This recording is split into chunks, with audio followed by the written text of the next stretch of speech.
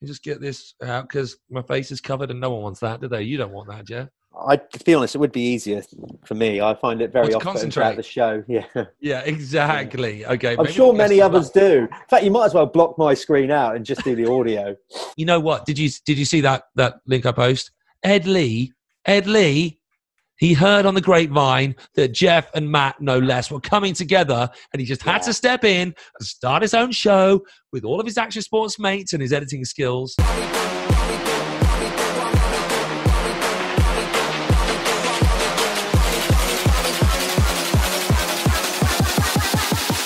Do my two step?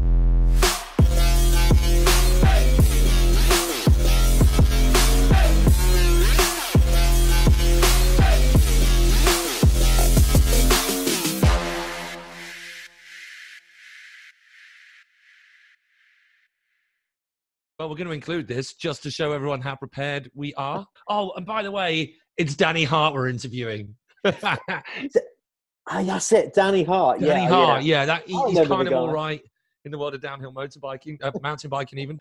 Hey, welcome back, Jeffrey. Um, we have our second show, even though it's kind of our third show because we like to talk for an age with our with our guests Yeah. of the Crowfro show into its second week. How, how are you feeling about the first rendition? I got quite excited watching it on the big TV last week. Yeah, yeah, it was good. I didn't watch it on the big TV because I'm not that vain. Um, I watched it on a little computer screen. Or technically savvy is what you actually mean to be able Oh, to get. that's actually yeah, yeah. That's it. My smart TV is not that smart, and neither is the, neither is and neither is the operator. So um, I watched it on uh, as as I'm looking at you now. But yeah, it was it was a lot of fun. It was great talking to Johnny Ray and uh, and Dan Reardon, and I'm looking forward to talking to our next guest. Yeah. you, you were just about to fake the fact that we were about to talk to. What do you mean a separate intro? I'm confused Well, now. it's not a separate intro. We're doing the intro after the fact. What? Well, we are doing the intro after the fact, but we can actually talk about the in, the, the actual. gun. Oh, I see. That's balls that up then, isn't it? Uh, No, I like it. We're gonna. so if you're watching this, Yeah. we've got, we've, we, I thought you meant well. Look, let's just get rolling and then and then make out like we're doing the intro after. Uh, okay, I, I, we're not going to make out like we're What doing a- it. We are going to do it after the interview, which we did a- talk about last week, but but forget about it. So we have got another world class. I mean, why do we keep on need to saying keep on keeping on needing to say world class? Because obviously you get the idea now. That's that's that's how we roll. well, that's what we're trying to achieve. Yeah. It is kind of, yeah, yeah, yeah. So you have got to have done very, very well in the sport to make it Yeah. onto the Crowfro show. And you've got to be kind of cool as well, which our first two guests very much were. And it turns out, having not met him before, our third guest was too, Danny Hart, multiple world champion in downhill mountain biking, no less. Here, Yeah, Jeff, you know yeah, I've known knew he was Danny quite a while. Um, yeah, through actually, as always, through uh, just mutual friends, motocross. You know that kind of environment that we live in. You know, ultimately, a lot of our sports are interlinked, um, particularly obviously now with clothing brands and energy drinks and etc. So you end up meeting an array of different people from different sports, and that was well the whole reason we decided to start this uh, Crowfro show. It So, was. Yeah. So it was good to catch up with Danny. Um, it was. he's always was another value. chat. He's a he is a very down to earth, humble guy. But- as anything. If you like, he, you know, if you're in the moment and you're super relaxed, that Danny seems to be. He's got his feet firmly on the ground. He never seems to get too flustered over anything, and I guess that's why he's done as good as he's done, and with a bucket load of talent as well, of course. Yes, that is going to be our third interview into our second week, which um, this will be going out right after the clap for carers at eight o'clock or just after eight o'clock when you guys all come in, clapping, hollering, and whooping for our NHS and our NHS frontline staff. And we've kind of tied it in together because we're trying to do our own little bit as well as starting the show. Don't get us wrong. We started the show just because Jeff and I wanted to do this for a while, but we thought, why not? do our own little bit for those frontline staff who are working so hard. And so we set our own Virgin Money giving page. Links will be popping up and be in the description in and around here for you to click. Head along, donate a little bit of money, put a comment there and your name there. And what we are doing is getting some goodies from our riders to throw into the pot. And we will be drawing those soon. We haven't quite collated because we've got guys all over different parts of the world Yeah. we're trying to bring together in a last minute kind of uh, shindig because this has all come together over the past two weeks, no less. so we are getting some goodies together, and we will be announcing on our social medias various channels as to how you can grab those. But apart from that, go and throw whatever money you can at the Absolutely. NHS charities COVID 19 urgent appeal. And while we are giving props to people that deserve it, thank you very much to Arena Sports Live, or as we're going to be calling it, ASL TV, in terms of our presence on their YouTube page, where you may be watching this, and the people behind making it all look fantastic Mantis Media, Sam Pascal, uh, and any of the photos that you see of some of our athletes up on the page is John Shrimpton, also Mantis, Amber with the creative, Grace Weddle behind the scenes, and uh, you and I. We forgot to do it again. You know what we forgot Well, to do? yeah. I know. Well, because we're not very good, you know. Hey, speak for yourself. I'm averagely good on That's occasion. that's what. Well, I was just going to say it's the quality of guests that make the show. Fortunately, Luckily, we are very much winged, Uh, well, despite the very beautiful backdrops that we've got. Sorry, yeah. So, um, my name is Matt Crowhurst, and this is.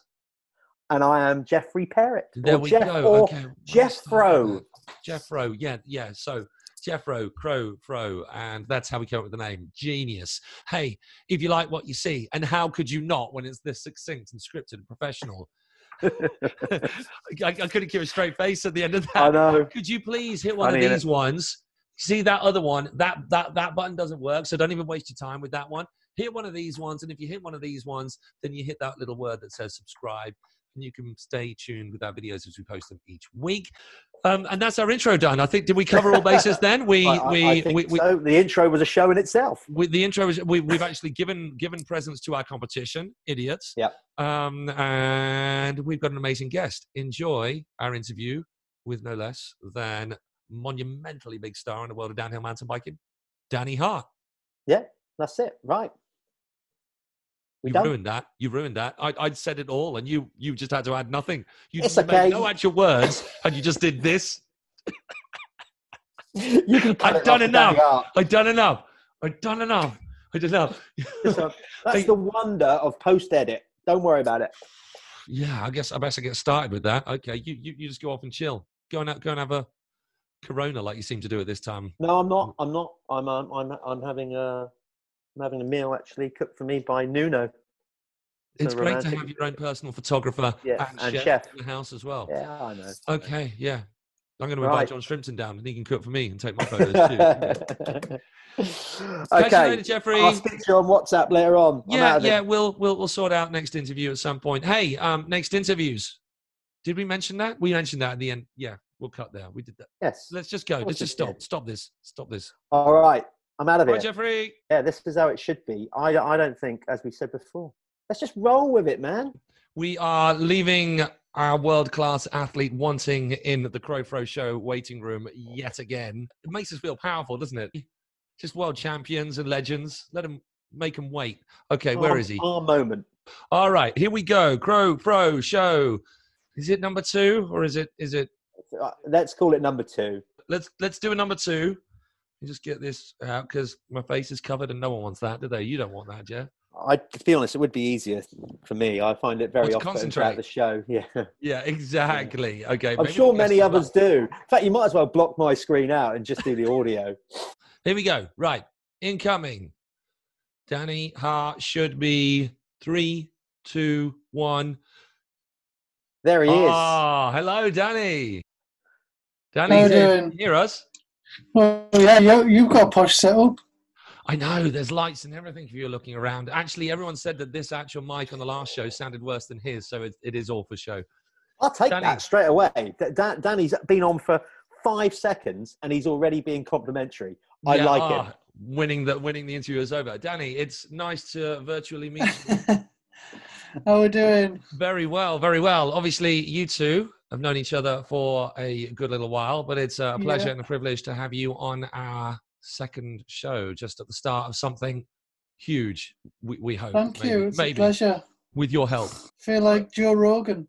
Uh, but exactly, that's exactly the way it's going to go, and I'm going to be getting into MMA very shortly. Oh dear, oh dear. I That thought I was going to get told off for putting them jerseys behind me, but it looks like everyone's got a little setup going. Oh yeah. Well, no, you've got. Because- We, we'll get on to motocross later on. We're, obviously, we're going to talk mostly about mountain biking. But Danny, Danny will appreciate the names. yeah, lining you've got a good there. spread there. to Haven't all I just? stuff. Yeah, as well. Yeah, how, what, how convenient for you and I. Yeah. There we go. But um, yeah, a good spread. I like that. Makes it sound like we're hosting a dinner party. I like It that. it actually looks like um, we are in the store cupboard of, a, a very neat and tidy retail outlet of yours, Danny. With with uh, are those are those giveaways or is that your actual walk-in wardrobe? No, I'll be honest. I've only just put them up there because I'm getting a lot of heat from sponsors trying to keep them happy. But I'm in like an office wardrobe sort of thing. Like when I moved house two years ago, um, Sophia, my wife, put all this Kallax in. Is it, I think it's called Kallax from IKEA, so I can just come in and grab my stuff when I need it when I'm going oh, Well, oh. riding. Which It looks like it's hasn't ju- o- only fresh shirts, only ever fresh shirts. So they are. They're all Fresh and new throw. for the new Well, season. That's when you reach that level, Matt. I'm sure you remembered those those great times where you was at the top of your sure- game. See, I'm not it sure I do. Like that. And to be fair, I think that Danny there is, like, could possibly pick up an IKEA sponsorship there, give them a good little. you That know, was other furniture awesome. store, other furniture stores are available, of course. The shame- You've got to be for out and about quite often, Danny, and you know, with your line of work. Obviously, we, you know, we, we can touch on that in a minute. But right now, obviously, we're all stranded at home. Yeah. So, um, So is it time, Jeff, for I- I COVID think it's catch good- up? COVID catch up indeed. Yes. This is It's, uh, This is of a the- section. There, This there- is there a is a section section. It's the only in. section we got so far. That's all we've. That's all we've got. so, COVID catch up. Go. Um, where, for how long, and how's it been exactly, Danny? So, what, what are we? Three and a half weeks now. Yeah, Official something like that, I think. Is it? Yeah, so I've just been at home in Redcar for this three, three and a half weeks, and I'm quite fortunate enough to not live in like a really small house. I have everything I need to still live quite a normal sort of life just from home. So I've got a little gym set up in my in a new garage extension I just had, and got a yeah, I've got a nice place, so it's not too bad. To be quite honest, it's worked quite well for me. I've been training quite a lot, and just we've just Sophia's just had a baby, so Yes. Congratulations. how, how long ago was that? you. Uh, February the eighteenth, so two months today. What a, what a selfless man he is. You noticed that Sophia had the baby. No, Dan, Danny had nothing to do Didn't with claim it. it at Oh, I all. had- I had nothing to do with uh, bringing her into the world. I'll tell you that much. But Was you there though? maybe helped Was, getting her here. was you there? Was you fortunate I- enough to be around? I was on there, on the- yeah, I was there, and yeah, it wasn't wasn't a very pleasant experience for Sophia, but Oh, glad I I thought you finished the gonna say sentence. for that. you. I'm glad you finished that sentence. Yeah. well, it wasn't very Yeah. nice for me neither. To No, be fair, so- no. but but no, we're all good, and yeah, it's just been been a difficult few weeks, really, Mm. just wanting to go racing, but I've been training hard. I've been getting out on my road bike a lot, and been training at home and doing what I can and pushing my social media for the team. You know, I've got good gotta be done. sponsors with Saracen and Madison and and everybody that helps the team out, and we've got to do our little bit for them. So where would you have been over the past couple of weeks, over, over the last um, three weeks? What was meant to be happening for you before so lockdown? we had our first World Cup, which would have happened already. I'm not entirely sure of the dates of the second one, but that's postponed, and our third one has been cancelled. So I'd have just been, I'd have had one World Cup, I think, probably just about getting ready for our second one, but yeah, we're uh, all up in the air at the minute. How, how many how many stops are there usually on the World Cup, and between what dates? When when does the season run for the? for the Yeah, so uh, so we were meant to start a couple of weeks ago in Portugal, and we finish September the twentieth in Les Gets in France, in the Alps. And we have, I think it's nine World Cups this year. That's not a lot of time, is it, to then squeeze the remainders No, that's the thing. And, and we're reliant on the weather, obviously, going to the ski resorts and stuff like that. And Yeah. I don't think they get snow in the Alps like in September or October. I do think there's time, but they close down for the summer in September, and and all the resorts. A lot of them are ski resorts, so that's Yeah. our that's quite an issue. They'll be in changeover time at around about then. Ugh, Yeah, Okay. you know, yeah. So How's same that? story as with anyone. how, how, how's that? Sorry, say that again, Matt. I was going to say same story as with all of us. Yes. Absolutely nobody has a clue. Yeah, what's how's going to that? happen? How's that personally affected you, Danny? Were you, you know, coming into this this year? Were you, you know, obviously you want to go and race. We we all know that, but did you feel that you were in a good place, ready to go? You know, and Um, yeah, I feel like I was in a good place and ready to go. The first World Cup was a little bit standalone, so we had we trained for that, and then maybe I wasn't at my peak, if you like, looking back now, but because of everything that I've been through this this off season with having a baby and getting married, but now, now like I've been training really hard at home and I'm in a good place. My my road, I've been doing a lot of miles on the road, so that's helped me. But I just can't see when we're going to go racing, and sometimes it sort of gets you down a little bit to think Yeah. when is it actually going to happen. But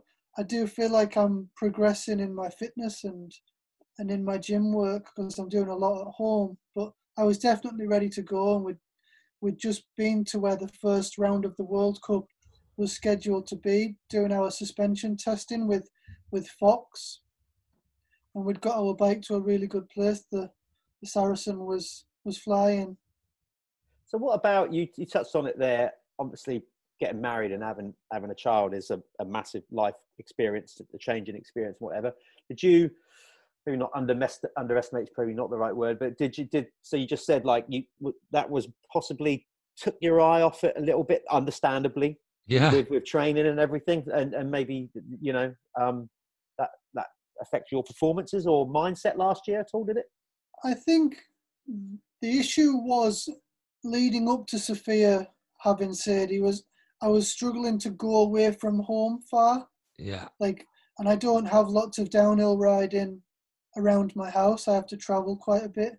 So that kept me at home, like not being able to do long journeys.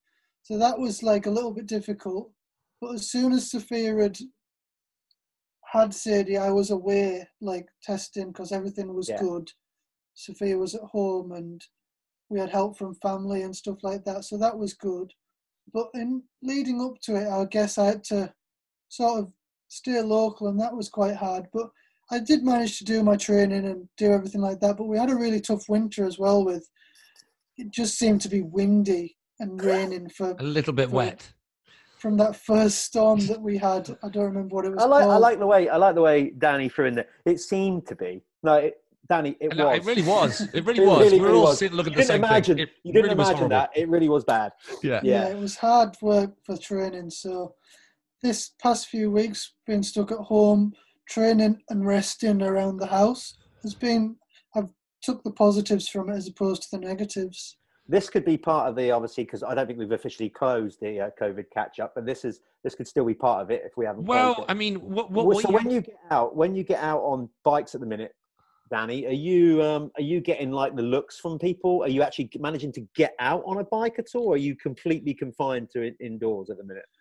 At the moment, I'm I'm going It's out on my road It's bike. job. This is Key true. it's It key is my job, and we actually have our own bike park, but that's closed to the public. Yeah. And it's really difficult because I could be up there doing runs, and Sophia could be shuttling for me, and Mm. with it being closed to the public, like really, like hundred percent, nobody must go there. Then it's not really fair that I go there, even though it is my job. Yeah. So it's really hard to juggle it, and yeah.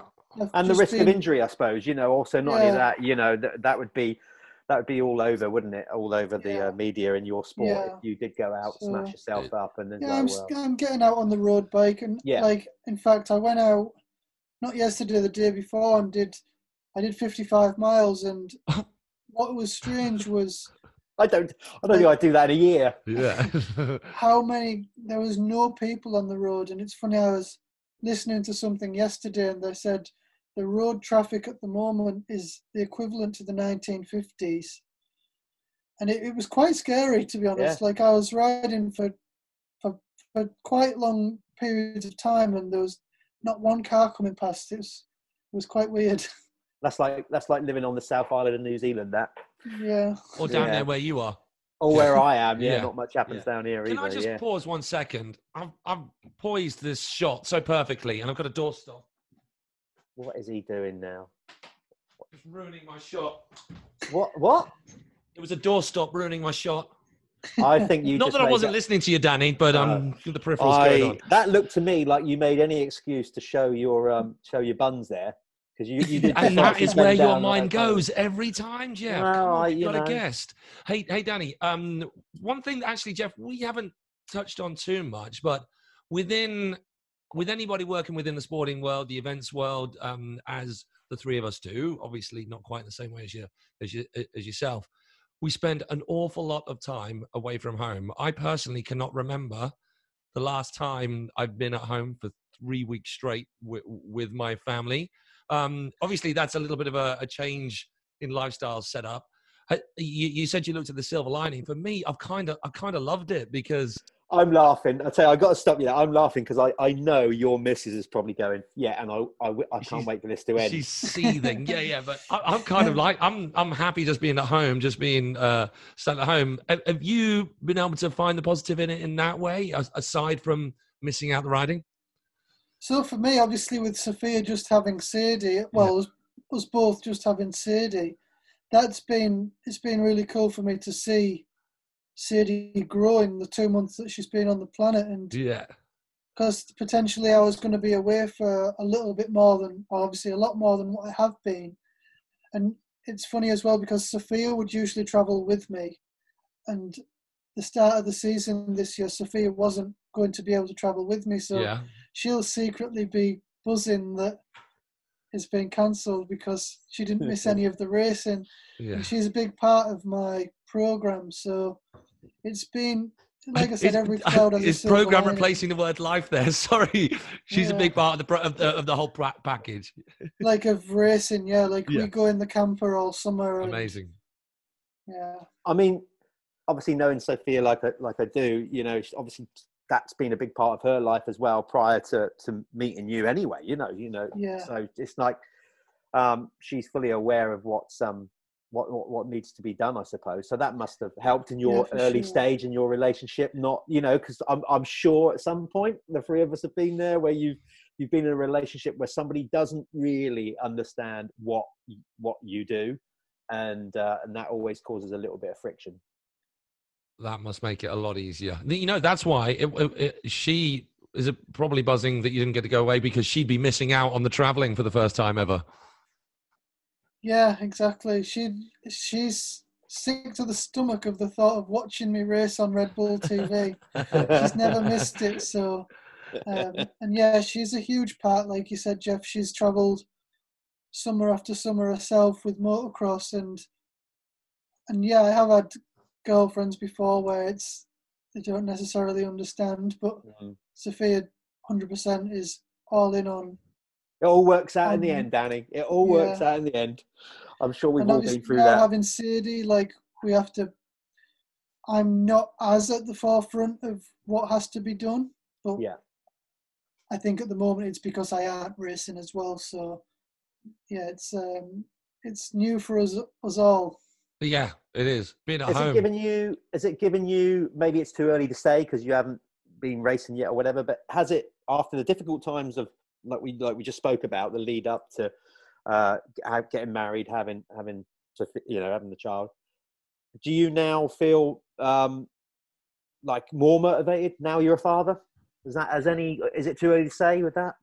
It is funny. I've been I've like the other day when I was out on the road bike and I I did a big loop and I'd done quite a lot of climbing and then I turned round at the end and like to head like back home I was like 20 miles away and it was a headwind and I'm thinking I've got 20 miles of this headwind to do and I would never normally put myself out there to go that far or anything but I, it hasn't consciously been a thought of like oh, I need to do this now because I've got a family to look after but it sort of just has happened like as I feel like I've sort of been training harder, but not sub like not on purpose. It's just seemed to have happened, and yeah, I think that may be what it could be, but it hasn't been a conscious thought. It's just how it's fallen. Just a natural like Yeah. lift. You can't. This is how it should be. This is, Yeah, Absolutely. It's exactly sure. how it should work. Nice. Yeah.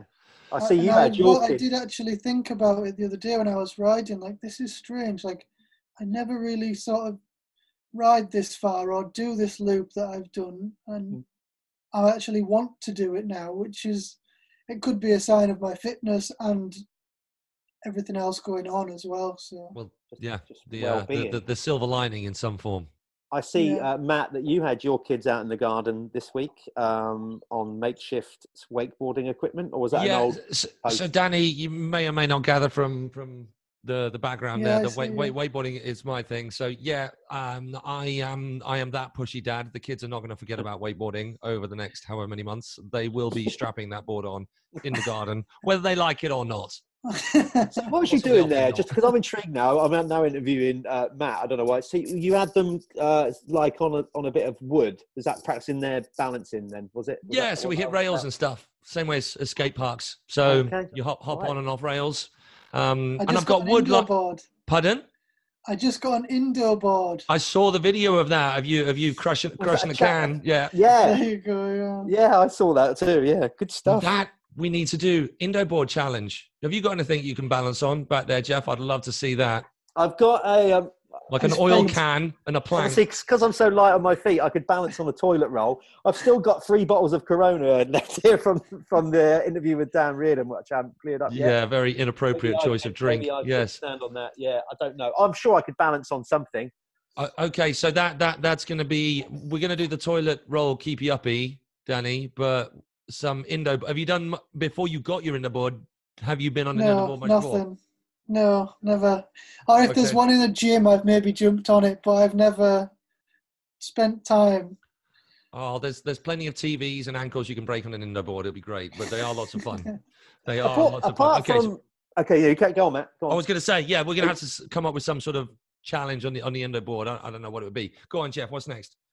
Well, I, I was going to say, Danny, like with all the riding and stuff that you do, and the training and traveling around the world and stuff like you know, and all that. What what do you? Is there anything that other than now that you've obviously got a family to, to look after and spend time with? Before that, what what do you? What's your downtime? What how how do you sort of get away from the madness of of you know being a high profile downhill mountain bike rider?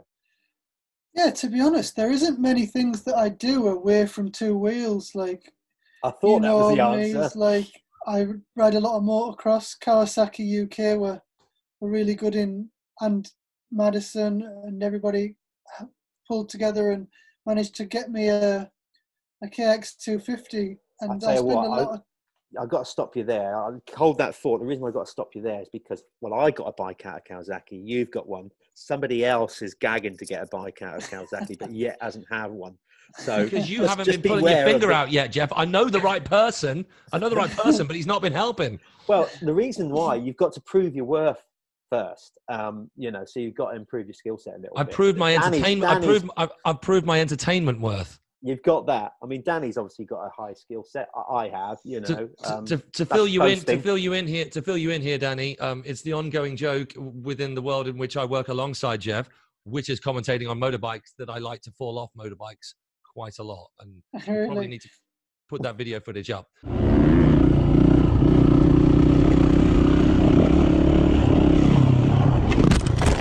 ah, Fuck, fuck, fuck!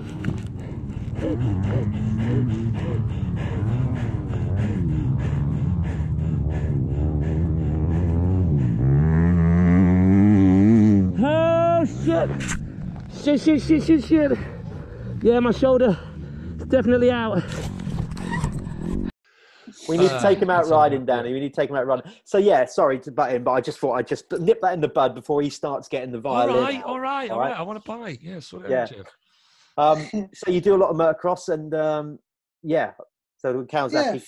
from like the end of my season through till usually the new year, I'll ride. Excuse me. Hey, sorry. hey, Who's hey, that? get off the phone Put him on the. Pr- that's that's Sophia just checking in on him. Yeah, so usually from the the end of my season through to like the new year, I'll ride motocross as much as I can because I don't really get to do it in the summer due to the risk of injury. So that sucks a little bit, but um, yeah, I ride a lot in the in that fall sort of season, and I really love it. It's like a, a hobby of mine, I guess, if you like. I spend hours watching YouTube videos, watching the Supercross, watching everybody riding motocross, and so I like to try and do it as much as I can when I can. So, Do I you- Do you? I was going to ask the same question we asked Johnny Ray because th- there was there was the decided opinion between Jeff and I, and actually it wasn't opinion; it seemed fact by the end by throughout the interview that Johnny likes riding off road more than he does on road or track. Um, but in his contract, he's not allowed to let wheels get airborne at all. Do you have any Supposedly. such clauses in your contract about other sport I contracts? didn't. I didn't until you said that. Okay, so that's going to put a downer on the rest of the interview. Don't worry about it. It's fine. It's fine. No no, one's it's fine. literally. You're at the start of this show, so our viewing figures haven't skyrocketed yet. So you're safer than now. I, I got to say as well, I, I actually think this is my personal opinion because I've had a little go at, at both. Obviously, I've raced motocross and done a bit of downhill back in the day. And I think Danny's chosen occupation is far more sketchy and dangerous than what motocross is anyway. Oh my gosh! I, can- um, that's in my your- personal opinion. But, in your- you know, thing Danny, is, though, I think when you can do it like you do professionally, like uh, it's all relevant, isn't it? Like you wouldn't potentially have a little tumble like I might riding around fat cats or and just tweak your knee. But if I go ride downhill, it's it's all Yeah. relative. So I suppose. yeah, I understand that, but that's why I try and only ride until the new year. It's not in my contract that I can't ride, but it's Yeah. on myself that I don't want to put have to call my team manager and say, look, I've tweaked my knee riding motocross.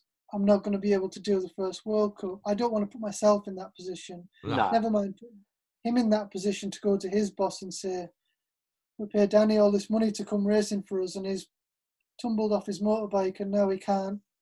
It's that mutual respect, is it? We were talking about this with Johnny. Johnny gets a team that understands him, you know, and, and understand that's his background. I mean, it can't be that bad because, like we just spoke about, the guys at Madison in particular all, kind of Yeah, uh, almost encouraged exactly. this arrangement with Kawasaki for you to have a Yeah. bike anyway. So they're Yeah. not overly down on it. I did manage to get to ride in some nice weather a couple of weeks ago after like my first World Cup had been cancelled. I had a big gap now until when I was potentially going to go racing, which is already which is also being cancelled. So I spoke with my coach and he said at this point I was like, what the hell do I do now? I'm I'm like overdoing the normal thing of training getting ready for the World Cup, I think I need to do something different. Can I ride my motocross bike?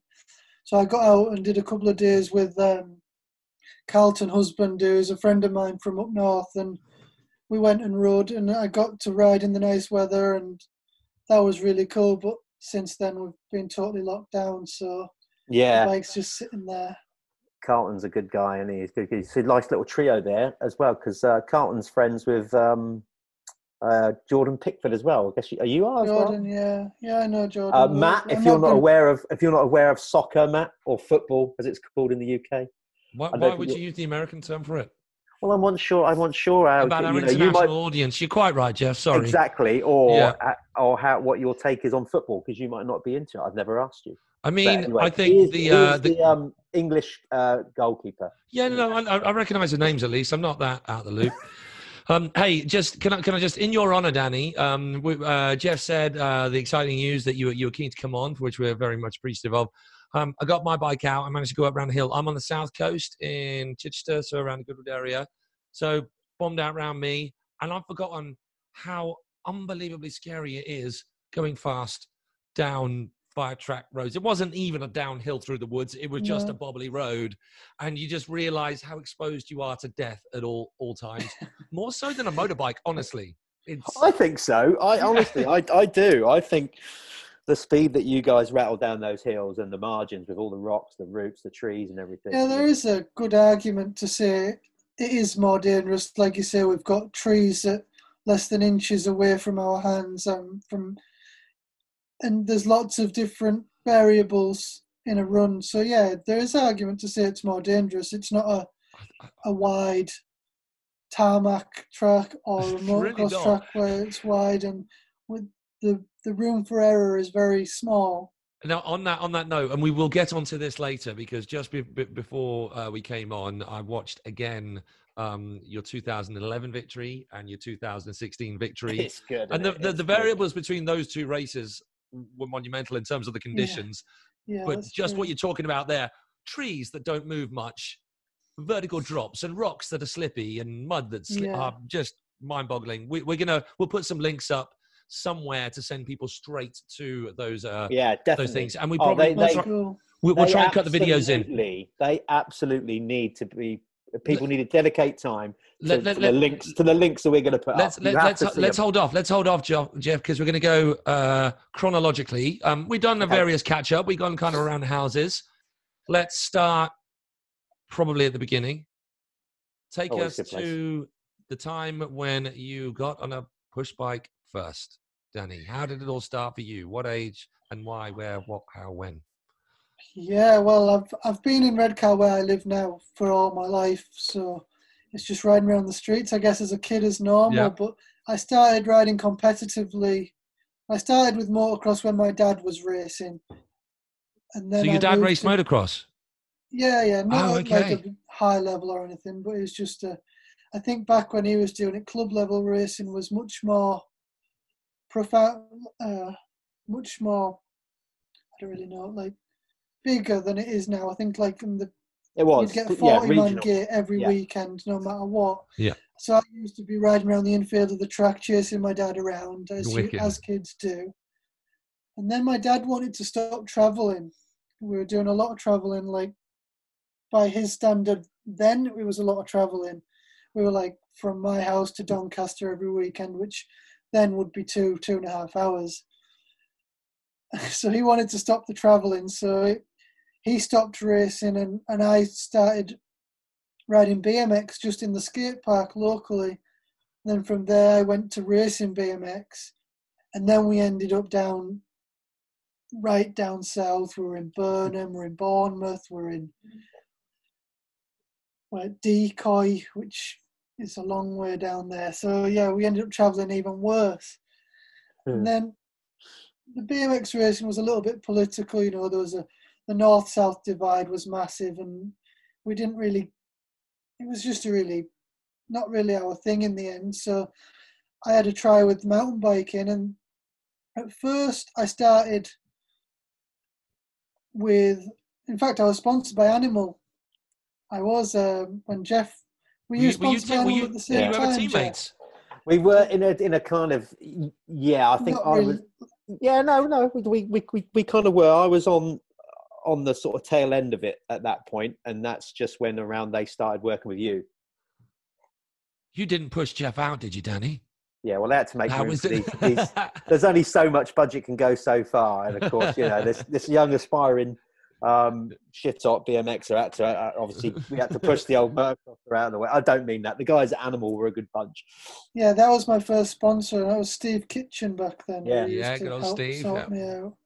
And I actually, I remember going down there and I saw like the wagon that they'd, they'd actually stopped racing the downhill team, but all they still had the lorry and I think I saw like the freestyle setup they had and Yeah, that was it. everything like that. And uh, that was in Poole, I believe Yeah, Yeah, yeah, yeah, yeah. down there. So yeah, so I was sponsored by Animal for a long time, and um, they helped me. And then then from racing BMX going to downhill, I was too young to race downhill. You had to be 13, and I was only like I think I was 11. So for a time there, I was doing both, but the BMX was still at the forefront. And then as time went on, I ended up just going to downhill. And then yeah, from then it just snowballed, and we're here where I am now, it's sponsored snow- by Madison and it Monster definitely and snowballed. all the It- cool brands. Yeah, yeah, it definitely snowballed. That's for sure. Yeah, um, like literally like a big old one coming down the hills. Yeah, I mean, um, so do you reckon? Obviously, get from a BMX background, starting off those early early days, and know that skill set, early days in your transition helped you with yeah, the downhill. definitely. Like when I first started on downhill, everybody could see that I'd come from BMX. I was actually clipped in as well. Like I used clipped in pedals from Yeah, yeah, yeah. No, that, that was you were clipped in doing downhill. I mean, uh, at a young age, because that's I pretty did gnarly. it from BMX. Yeah. so I had that, and I I used to spin a lot, like high cadence pedaling because of racing BMX, and it's definitely a really good foundation for anybody wanting their young kids to get into downhill. BMX is a brilliant place to start because you can start young as well, whereas downhill isn't as accessible for young kids, but I think you can learn so BMX much from really isn't. BMX, can't you? It's Um, it's not just yourself who's transitioned Yeah, into da- into downhill. Is it, Um, h- h- what it's sort famous- of percentage, famous- guys? well, is, it's, it, there's some big names that obviously Danny is one of them, one of many, I'm sure, that have made that transition into mountain biking. You had the likes like Jeremy McGrath was Yeah, obviously yeah. that's where he learned. He basically he's put his hands up and said that's where I learned my fundamental it's skills trade. was BMX. Um, Yeah. And he went from BMX into obviously motocross and then become the, the king of supercross. I think you even had like Joel Smets, who he didn't he, he didn't even start racing motocross until he was 18, but he Yeah. used to ride BMX and do BMX racing before that. So Yeah. I think you I think can learn- Gautier Paulin was actually a BMX one, world champion as well. Yeah. exactly. There you go. Yeah, So it's definitely a good foundation for any sort of two wheel sport. yeah, hundred percent. So we need to get out and do BMXing as well, Matt. The, um, so I've got my lad doing both BMX mountain bike, BMX mountain bike, and he loves it all. Yeah. Definitely, definitely his favorite. It's, it's. uh But then, but then, just after the other day, me flying down a hill, what I thought was flying down a hill. All right, Jeff, before you cut in there, Tell him, say oh. I don't know. Like of all the sports, getting a lad into downhill mountain biking, it's scary. See, we're um, we, we're jumping ahead a little bit. Of course, your little one is going to get on a bicycle before she has time to Yeah. say anything about it. But, Mm. knowing what you know from the life that you've you've lived, would you gladly push her into into cycling as a, as a as a potential career path? You know what? I haven't even thought about it to be quite It's a honest. bit early you. days, to be fair. Yeah, Yeah. it's a bit early days. It's very early think days.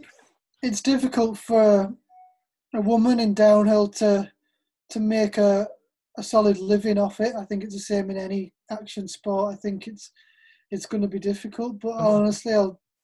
I know it's the stereotypical answer, but whatever she wants to do, it's Yeah, totally up to her. But oh, obviously, she'll be on two wheels I was going to say, possible. I would assume. Um, yes. with with you in a background from a little bit from motocross, BMX, and mountain biking, obviously Sophia from motocross as well. It's, Yeah, it's um, yeah. I don't, I don't, She should have some good I think it's gonna be, yeah, yeah. She's not got a choice.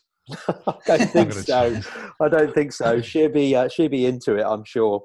Yeah. Hey, where, did- where did we get to? We got to you had basically eventually made made the, the, the transition. So so what age was that at the point the BMX was done and dusted and you were full blinkers on mountain bike? So British Cycling let me race downhill two years too soon. They gave me like a they call it a letter of dispensation to race early.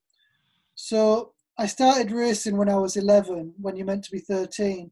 But I think when I got to 13, that was when like right, this is it now. Like I'm done with I'm done with BMX. I want to go make this what I do. From then on, when I was officially in the categories, that was it. Then I would, I was converted. I was like the way yeah, being dipl- slightly diplomatic with that answer. Yeah, it's good though. Who Do you was love- your? Go on, do, do, do, do you love uh, like um before uh, uh, I'll start again. I'll pull my teeth together. Okay. So do you love every aspect of mountain biking? Like, would you just go on a blast that's up, up, up and down and cross country? Is it just the downhill you live for and that alone? To be honest, like there's a new sort of wave of enduro in downhill where it's the same sort of principle as enduro motorcycling or, or rally in the cars. You know, you have your liaison stages and then you have your time stages. And right now, that doesn't really interest me that much. I'd rather I'm still all in on mm-hmm. on downhill. Like I think I've looked after myself quite well over the years. I haven't had too many big injuries, so I don't I aren't sick from that point of view. I'm still just love riding downhill. Like I'm not all like super excited guy. I'm just like quite mellow. Just I love riding my downhill bike, riding my motocross bike, and and I, I enjoy riding my trail bike, but it's not something that I'm super passionate about. It's still just downhill is at the front of my mind right now. Is it a, s- is it a speed thing with downhill for you? Um, yeah, and I'm not really. I get bored climbing back up the hill. But I mean, rather get No, you, have, you have to climb. I would have thought, you know, a man of your caliber surely gets like lifted up there, or, or his bike. Yeah, yeah, for lifted up, yeah, just by people, go- by Sherpas. When you just no, just when you're out and Enduro about. road. Um, I- like but is right it? now with this COVID and all this bullshit, like the weather's really good though, and I'd love to be getting out on my trail bike. Like Yeah. I, was, Yeah, I was just in the garden playing with my bikes now, just trying getting things sorted, and the weather is so good. It's just, and the trails are going to be so dry right now. But I, the, I have to drive to get there, and I'm not allowed. So it's like, yeah, it's not. so it's kind of ideal. li- like a lot of these things. Then, Danny, it's kind of it's it's in the blood, obviously. You know, as we're just talking about your little girl there, you know, and yet it's kind of in your blood from from your upbringing with with your with your dad. So I guess yeah, it's, yeah. you- you- a lot of the time we i think me and matt have had this conversation i can't remember if it was last week when we were doing stuff with um with johnny ray and, and dan but it's just kind of like we do what we do we, we can't you can't turn it off it's the sa- same for all of us i suppose which is why we're Yeah, doing funny, shows like, like this when and people ask about it. questions about it, I struggle to answer because it's just what I do. I don't ever, Yeah, I don't really talk about it very much. You know, it's like I just, I just ride my bike, and when people ask me questions, I'm like, oh, when you have to really think about it, it's quite difficult. Don't think about it. That's the answer. Just talking be- about not thinking i'll just dive in with that question for me danny when i when i ride a motocross bike i think it's the one time where uh, you know whether it's even sometimes when it's competition which i've, I've I've obviously haven't done for a while where i can't even tell you what uh, my, my No. mind's just away with it i, I Yeah, can't even recollect what i've been like- thinking about what happened you know it's that kind of thing Isn't it I've called? spoke about it's flow this a few times lately. Oh, Oh, is that me frozen? No. no sorry, No, I lost sorry. you a little bit there. So, yeah. Sorry, go go on, Danny. Yeah, I spoke about it a few times over the past few weeks, doing a few podcasts and things like this. That it's like when I watch a race back and I think about it back and I watch a helmet cam, it's you're in like a, a zen sort of state where you're not thinking about anything and you you don't really know who you are in that situation. You're just doing something. You're a bit like a robot. It's really crazy that I think maybe it's because I'm more of a sort of natural rider as opposed to someone who has to think about it. These things just happen for me when you're in like a flow state sort of thing, and yeah, it's it's a crazy situation when you, you're doing this stuff and you just it's just happening. Even when I'm just riding for fun, it's a nice just place to be happens. isn't it that, that's the yeah, point It's- it's you can't really explain it. Yeah, it's it, it's um yeah, you know, I guess like people- but when i tried when i do motocross when i ride motocross say i'm at fat cats or i'm at a hard pack track where the ruts are along and out of the corners and stuff like that i really do have to think about what i'm doing then and Yeah. when i think about it like looking ahead in the corners and and look and just things like that then i can come in and think that's what i was thinking about then but when i'm doing it on my mountain bike when it's more sort of a second nature, I don't Yeah. have to think about it, so I'm not thinking about anything so much. I think also maybe in your line of work, eh, obviously you, you get practice runs. I get that and whatever. So you've got a mental picture going down the hill or whatever. But for you guys, your level of competition when it, when it comes to the crunch, you've got you've got one shot at it, as in you Yeah. go down that course one time. Obviously, a motocross race or whatever, you're doing multiple laps to think about the next lap. Oh, I messed up there. I get that mm. right. And I guess with with what you do, you haven't got. T- there's no going back. You, you know, you just got to go with the flow, and you can't overthink it. Yeah, Maybe. that's what's quite hard. That's one of the aspects of our sport is that you get one shot. Yeah. Like if I watch um motocross, MotoGP, F1, maybe not so much F1 because it's so close, but mm, a lot of motorsport, you can mess one corner up, and yeah, it sucks. You've got to work hard to get going again. But us, we only get to go around that turn once, and if we mess it up and the other person doesn't, and when the gaps are so small to win, that pressure is it's really intense. Yeah.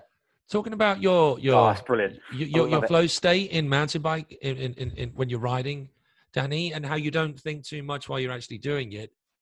How do you then train your, the technical aspects of uh of, of, of of downhill? Like how do you separate all the various bits that make you get into that flow state and train them specifically?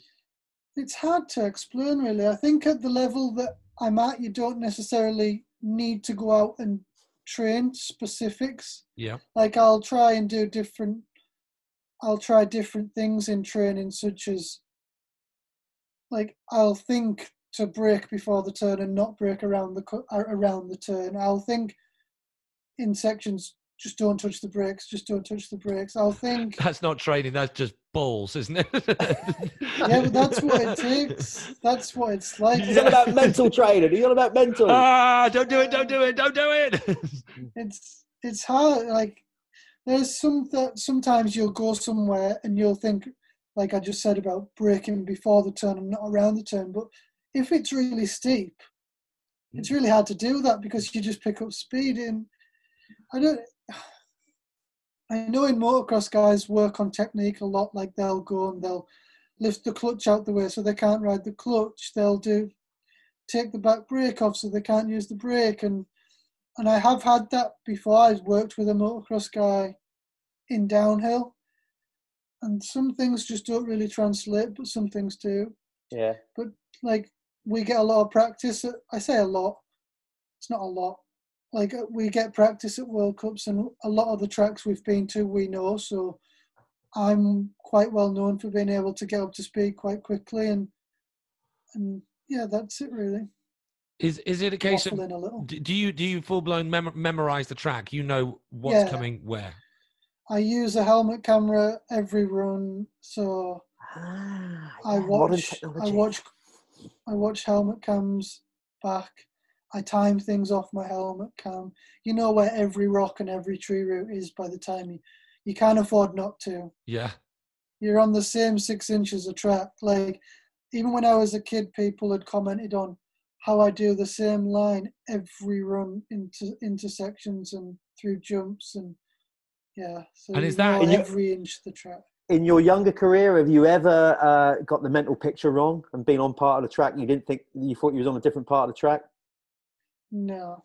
No, just see? just no. no. He's Oh, got a Jeff, memory no. like an elephant. I think hey, that is must that be as well. is is is that is, is that fairly true for the majority of riders who have reached the levels that you have reached and and got a lot of big results? The consistent line every time, every I- stop, every every track. I think over the years it has become that, but previously in like different eras, like you have had different styles, and you still do have different styles where you get people that just like smash everything and just are less precise, and they're more just like hold on, have a stiff setup on their bike, and just ride things out. They're stronger mm. guys, but I think now it's it is more so that precision and and finesse is becoming more of a factor. And That's then in your time, speaking of, um, because a couple of races I've been watching, and actually in watching those two, well, well any downhill, and then riding the other day when w- the bike's going up and down like this. Like Sorry, the- did- what did you just do then? the- when the bike's going That's up what and I down thought you like did. this, and obviously my Yeah. bike's nowhere near as good as yours, but the the the the the, the equipment side of things, how often, what, what sort of uh, ratio does that come into play? Like just simply popping a tire, surely that must happen a lot. I, I Uh, obviously things have advanced a lot, but it's amazing how the bikes can go through what they go through these days. Yeah, bear in mind, Danny, you're talking to a couple of idiots now. Don't underestimate. I think he's got that, Jeff. I think he might I have think got he's worked that. that out. Me and my team, Madison Saracen, we work really hard on our setup all all off season. We're always working on different things, and by the time the race season comes around, we don't really get many mechanicals. Everything is in line. We know exactly. We know how much pressure we have in the tires, how much pressure we have in our suspension. We work with really closely with the guys from Fox Suspension, Maxxis tires, and and Shimano and Pro. They're our main our main key features with the Saracen the Saracen bike, and everything is accounted for, and we know every fine little detail. And yeah, mechanicals in my team, especially with me and my mechanic, are not really a factor. We it's not even on our radar. At, at what point um, in your riding career, or was it was it a drip drip in terms of the increase in the size of the of the teams and the and the professionalism that you were lucky to be a part of? When did that really happen? At what point? I've always been since I started racing the World Cups as a junior in 2008. I've been on quite an array of factory teams, and I've never really had to struggle with anything amazing breaking. Or we've always had a brilliant setup. I've always been on great, excuse me, great Oh, teams, and and Madison Saracen is at the pi- pinnacle of the sport, and anything we we need, we get. My team manager Will Longden's been working really hard on a telemetry. We've we sourced, I say we sourced the team bought a top of the range telemetry system this winter, which obviously you don't learn how that works overnight. So as the time goes by, we should we'll figure that out more and just so we can find them extra tenths of seconds. I'm going to try and ask. I was going to try and ask a question that would make it sound as though I was asking the question for the rest of the public out there to understand exactly what that is. I'm just going to ask. Explain the telemetry setup for us. Yeah, telemetry. We have, um, I think they call them pot- potentiometers on the on the Wow, fork, so it measures the fork travel and the shock travel. We have wheel speed sensors, so it can tell you where we're braking and what the suspension's doing at the same time. With also with GPS, so that once we get to the bottom of a of a practice run or a race run, if we want to use it in a race, that they can see whatever the bike's doing at whatever given moment, and they can see where I'm braking, where I'm not braking, everything. They can they can figure. I'm working with Fox as well, and Yeah, everybody working together, we can get the most out of the bike. And and for you, who is someone who obviously feels it a lot more than thinks it, is that a new skill for you to learn to take that information you're being given and put it into practice? Yeah, so that's also something I've got to figure out as well. It's not just the mechanics and the the staff that have to work it out. It's me. Like I am a very sort of feel rider, and and I do tend to be able to adapt. Like you could put BMX wheels in my bike, and I'd learn to ride it fast within the first thirty seconds, which works well for me and works in my down uh, works against, Against me you, as yeah. well because we don't necessarily get the most out of our equipment. So working, so obviously Will and my team have to work the telemetry out, and so do I. I have to learn to use it as well. So I have to. It's for us all to use. it, it definitely works. It's interesting. I've got a story like that. Um, back in, uh, I must have been 96, 97, something like that, when Stefan Everts was riding for Factory Honda. Mark Eastwood was also on that team.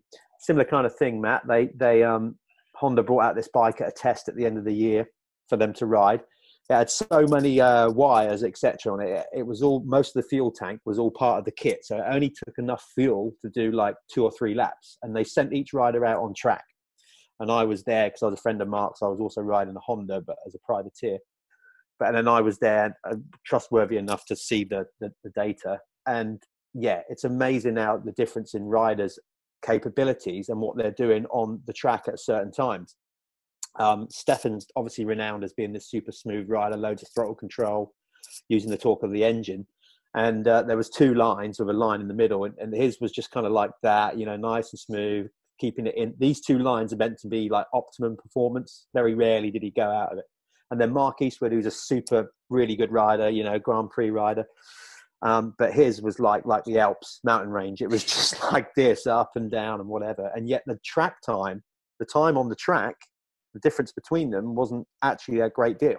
But the One person would get tired with a sailor. absolutely, yeah. Do you see that difference between between your, your teammates in terms of how the telemetry tells the story, like a real different flow to a course?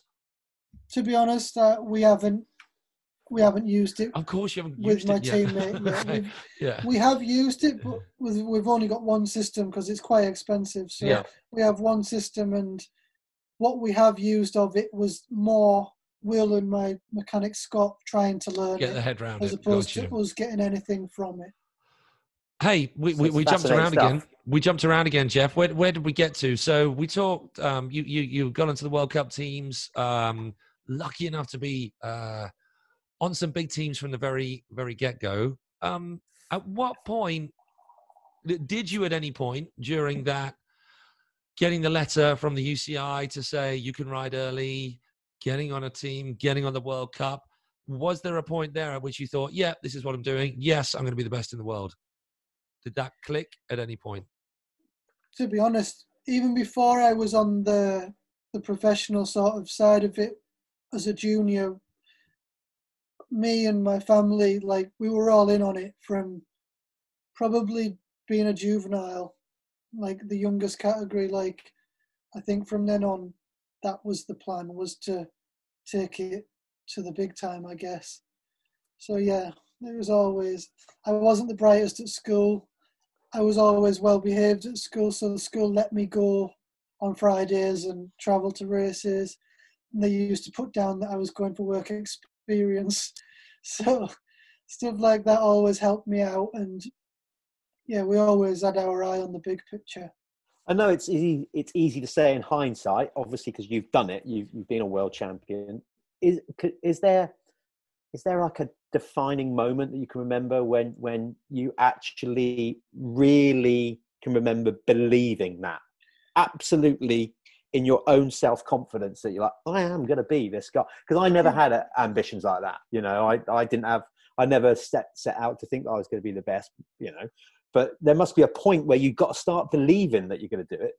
Yeah, so it did take a while for me to then think, right, well, this is it. Like my first year in in senior like elite was 2010 and I didn't have a a massive breakout year. It wasn't until 2011, the year that I won the world championships in Champéry, where I had a couple of podiums and I was that was maybe the point where I was like, right, well, this is it now. I'm second year elite, one of the youngest guys, and I'm getting on the podium.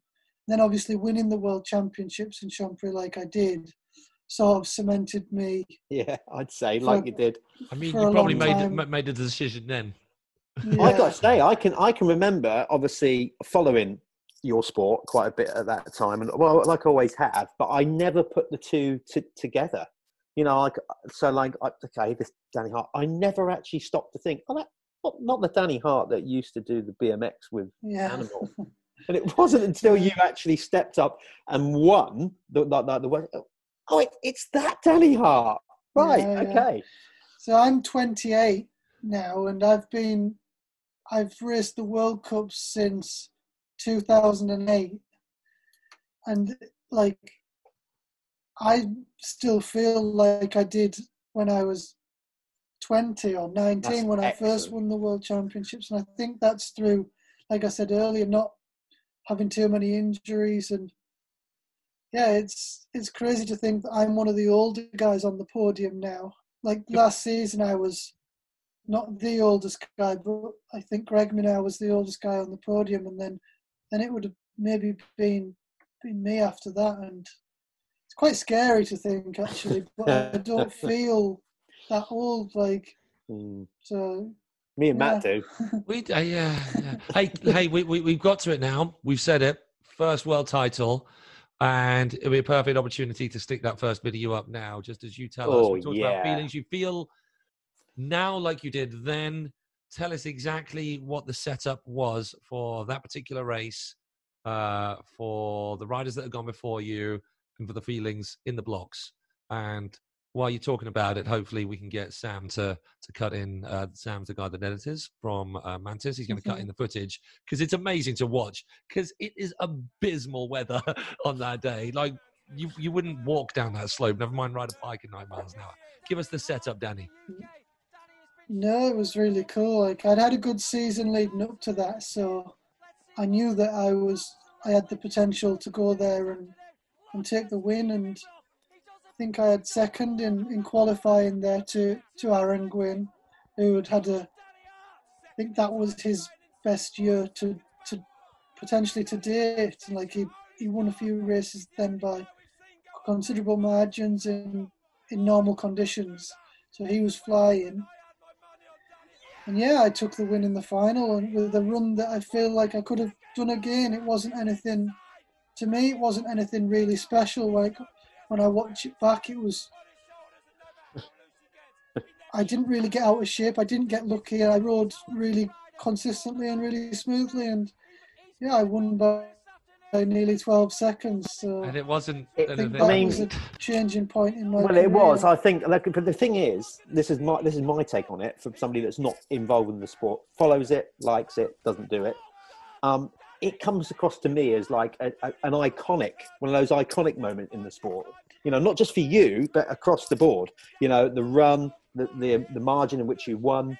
You know, the the, the co- like Rob's Commentary. commentary on it and everything. You know, it's like I guess like Tiger Woods, you know, winning Augusta by that many shots. You know, that time to to that's a huge margin. And I know when it's muddy, you know, obviously the times stretch out a bit further.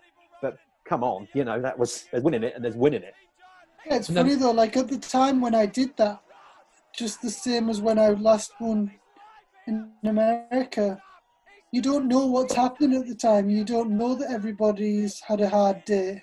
You think everybody's gonna have just done what I did. And they clearly didn't. So yeah, it was Can just we normal. ca- can we talk about the, uh, the the the little bit of showboating right near the end of the course in that in that race, getting that bike all sideways in the wet, quite high in the air, going quite fast in a World Cup where you were quite far ahead and had it in the bag and you still got the bike sideways. Was that in, I mean, once again, flow state? Did you actually consciously think I'm going to get the tail out on this? Yeah, exactly, exactly that. It, that is what it must have been like through practice the whole time. Them jumps were really good fun, and I did it every practice run. And I probably said to myself not to do that in the race. I'd had such a good run until that point. yeah. I probably Oh, wouldn't do fine. it now. but um, yeah, it was just I was enjoying myself, and when you enjoy yourself, you go fast. So I'm uh, bloody glad you did because it adds to the whole thing. I think Warner at that point is just about struggling to keep his his well his head nearly exploded at that point. yeah. Are, are both of them? Yeah. Who's the other commentator in that video? Both of them are literally about to explode all the way through that. Yeah, the other one was Nigel Page. Yeah, I think he Pagey. was going more insane than Yeah, he what was, he Rob was. to be honest Yeah. with you. Good old And- boys. Yeah. We'll have to get them on there at one point. Hey, and from uh, from then on, as as I just glanced down the CV that I'm reading up here, it's been a fairly mantelpiece busting career, hasn't it, mate? Did did you did you think after that first victory, you'd one still be feeling like you're feeling about it all ten years down the line, two be in one piece to be able to enjoy it, and three It's nearly ten Still- years ago, isn't it? yeah exactly still still be in, in the top echelons of the sport did you did you think that far ahead I've not thought that far ahead, and like I was saying earlier, like it doesn't feel like it was ten years ago. So it's it's it's difficult to answer because it's just gone on and on and on and on, and it's hmm. not really gotten old. I've enjoyed it ever since.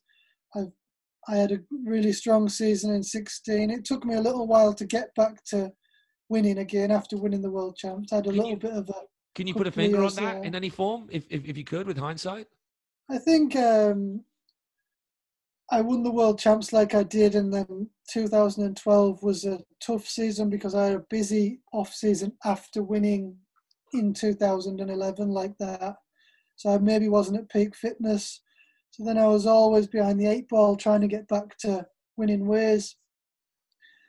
And then I managed to get back there in 2016. I won three World Cups and then won the world champs again in in Val di Sole in in very d- different circumstances, like you said earlier, with deep dust, powdery, brutal track, which is an absolute nightmare of a track. When you it gives you nightmares just thinking about it. So okay so okay so for, for someone who doesn't know looking at the two the 2011 conditions would supposedly give you nightmares, but you actually had more fun then than you did in that 2016 win.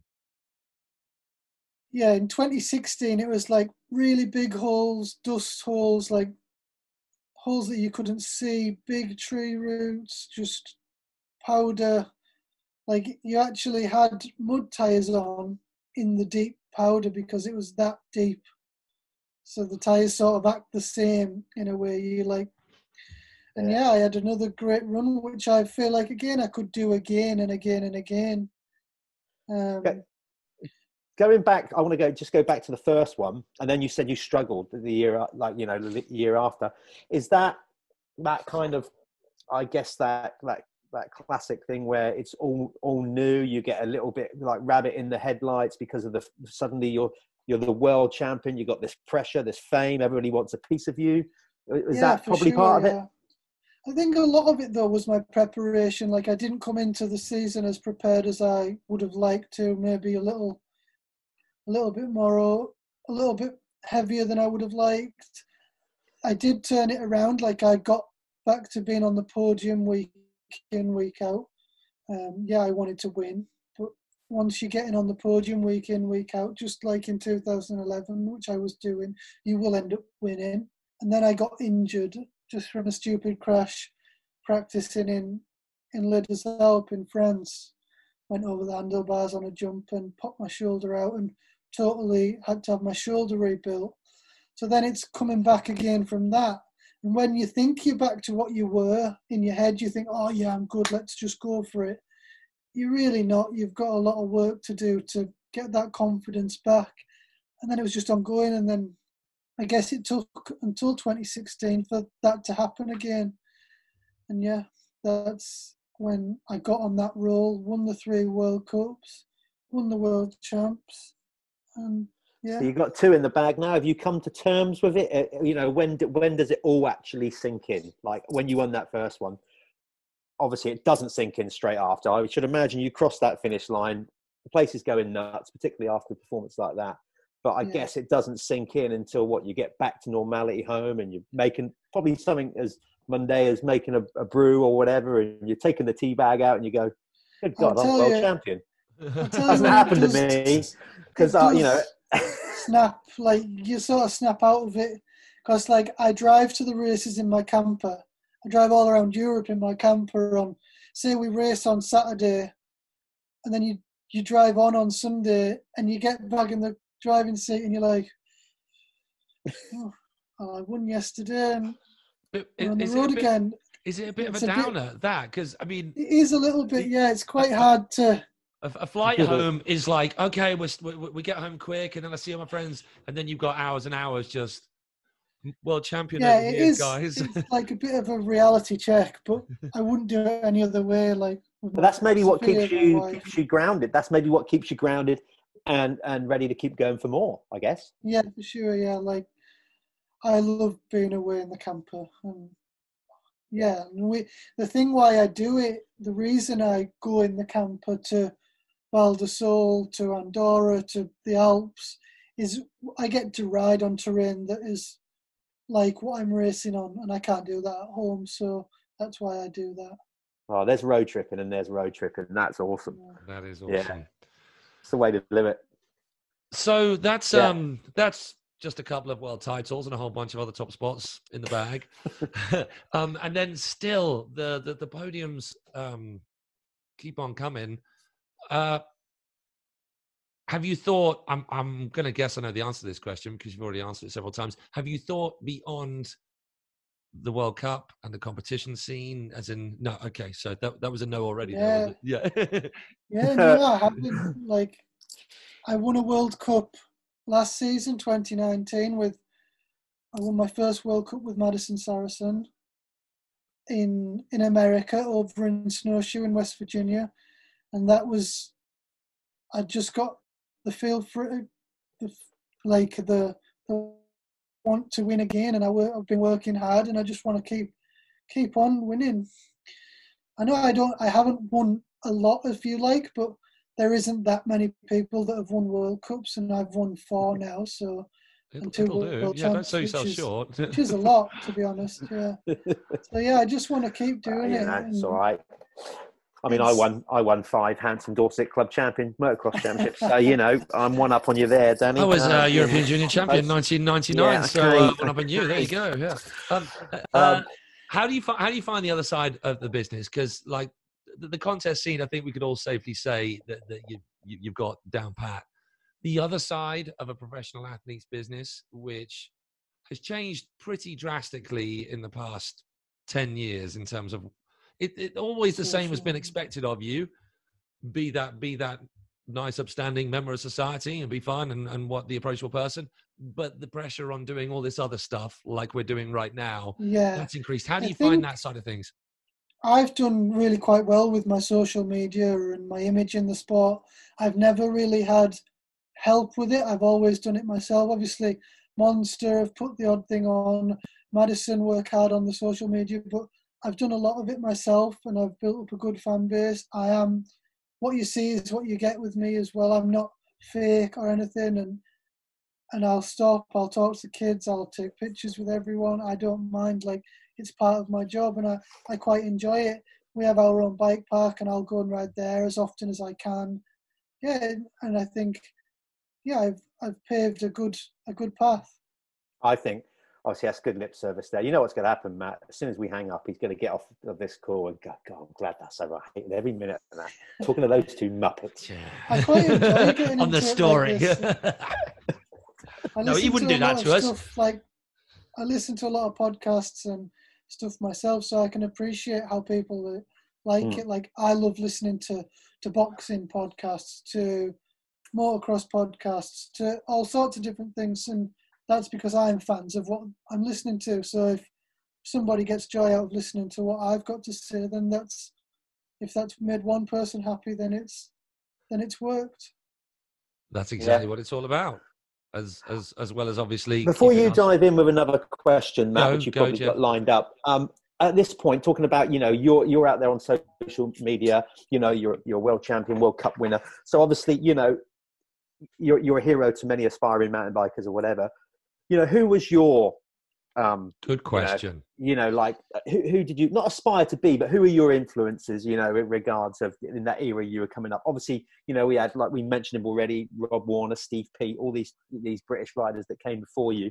Were they were they influential in your career in any way, shape, or form? No worries if they're not. I just called them out. Yeah, it's it's it's I think it's different for me because I've always like without sounding big big headed, I've always been around these guys. I've always sort of known them. Yeah. I've never been somebody who oh, I really want to meet so and so. I really want to meet in my sport.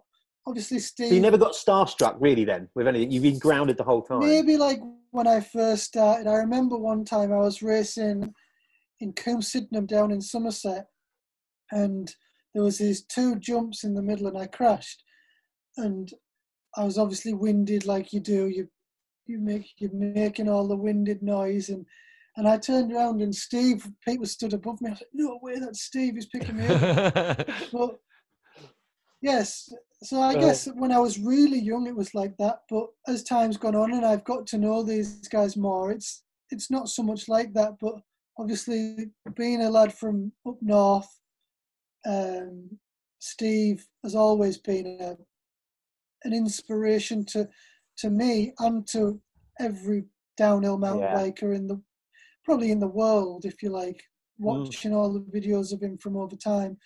But I've also like I've really I've come from motocross a little bit. I've, my dad is still riding superbikes like on the track, so Valentino Rossi was always a hero of mine. You've got Jeremy McGrath, Stefan Everts, Carmichael. You must have met you. You've met you. I know you have. You must have met a fair few of them and hung out with them. Yeah, McGrath, I know you have. I'm sure you have, haven't you? I haven't actually met McGrath. Oh, I thought you had when we was over in. America that time. Uh, yeah, we was at Mickey's place. Remember, we were we were over there together. Yeah, yeah, yeah, I haven't met McGrath. I've met, I did, you know, on the MXGP, like they used to do the live show. Yeah, I did that with Villopoto once. nice. Yeah, like there's people in other walks of life that I'd love to meet. Like I'd love to meet like Tyson Fury. Like these are the superstars in different Yeah, walks of life.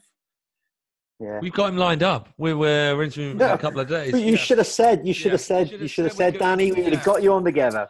We can't I'd we can't back that you statement boys up. By could the way, talk to him about. God, he'd, he'd, yeah, God, he would actually uh, probably ruin us. I should imagine. Make or, or look make us second rate. one or the other. It'd be Yeah, a good or way make to- us. It would be a or the good way to go out. Hey, we, we, we've covered the, the full career. We, we've covered um, uh, family life. We've we've done COVID catch up. That was way back in the distance. Um, well, in the conversation, unfortunately, not in Yeah, not even- Yeah. And on that note, Danny, thank you Yeah. for taking time out to hang with us. I'm sorry that we made you wait at the top of the show. We do no, that to all no, our that's guests. fine. I was- Put, put, put you on the back foot. We Right. will uh, be posting this very shortly, Danny. Thank you so much for your time. It was really nice to meet you. I look forward to us meeting in person at some point soon, and uh, you taking Jeff and I down a mountain somewhere. Oh, Danny, thank you so o'clock. much. I'll see you later. See you, Danny. Thanks for your Take time, care, mate. mate. Have Bye a good bye. one. Bye bye. Catch you Okay, later, Jeffrey. I'll speak to you on WhatsApp later on. Yes. Let's just go. Let's just stop. Stop this. Stop this. All right, I'm out of Bye, here. Jeffrey.